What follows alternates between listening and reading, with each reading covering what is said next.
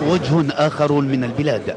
هو عنوان المعرض الفني الذي أقامه تجمع فنانو العراق في قاعة حوار وشارك فيه نخبة من التشكيلين الذين حاولوا رسم واقع ومستقبل مغاير لما يعيشونه اليوم عبر لوحات ومنحوتات حملت صبغة جمالية معبرة عن أحلامهم التي حاولوا فيها إشراك المتلقي.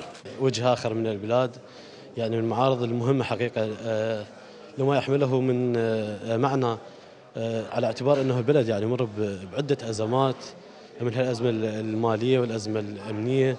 فإحنا حبينا ننقل في الصورة جديدة وجه مشرق للعراق. يعني العراق بعد ما ميت بيه فن بيه ابداع مجموعة من الفنانين يعني عندهم إمكانية جميلة بالتحدث باللوحة ولغتها. آه، شوف اللوحة إذا تباوعها أفكار مختلفة طروحات مختلفة بس كلها تنصب بالوجه الآخر للبلاد. الظروف الصعبة التي يمر بها أطفال العراق دفعت إحدى المشاركات في المعرض. رسم لوحات تخيلت فيها واقعا مغايرا لحالهم. فهم يلعبون ويمرحون ويملؤون المكان بضجيج ممزوج بالحب. فنان آخر حاول التركيز على النساء الأيزيديات وهن يواجهن وحوش داعش. أعمالي هي مقسمة إلى جزئين. جزء يمثل مجموعة من الرجال آه، وجزء من النساء. الرجال مثلتهم هم اللي أتوا مؤخرا اللي يعني احتلوا العراق هم الدواعش وكذلك النساء الايزيديات فعملت عملت مقارنة بين آه، هذا العنصرين وكيف آه، عمل هذا العنصر.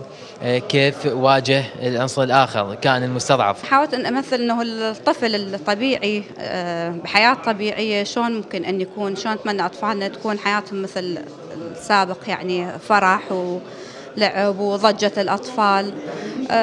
يعني بعكس الحالة اللي هسه نشوفها الوجه الآخر هذه المرة دفع أحد النحاتين لابتكار تجربته الخاصة والمغايرة للأعمال النحتية الأخرى التي شارك فيها بمعارض خارج العراق وهي تتلخص بإعادة إحياء بعض الحاجيات القديمة مع إضافة لمسات جمالية عليها. أنا شاركت بهذا المعرض بثلاث أعمال نحت بتجربة آه، تصليح العمل الفني المكسور.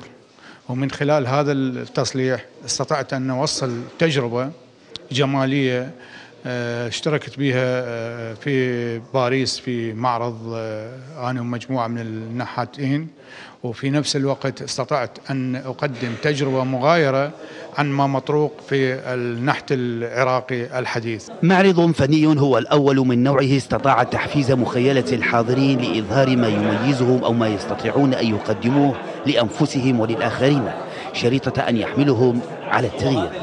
موفق مجيد الحرة بغداد.